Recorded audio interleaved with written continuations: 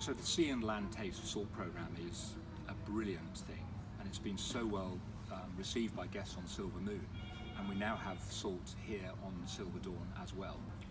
Sea and Land Taste Salt is just brilliant. It's the best thing Silversea have done in many, many years and it's about, again, immersing our guests into the destination.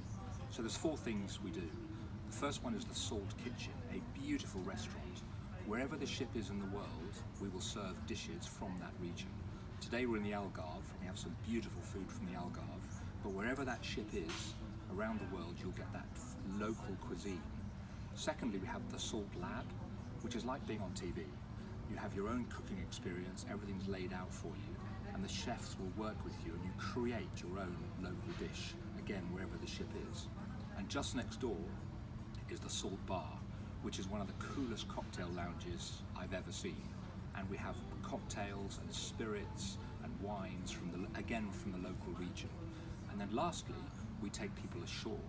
So a typical salt experience would be go to a local farm, work with the farmer to see how the ingredients are grown, taste some of those, then maybe go down to a local restaurant and be shown how they cook that local produce, and then sit with the locals under the trees on the beach and have a lovely meal as the sun goes down. So we put salt takes you right into the centre of a destination. It's the best thing Silversea have done.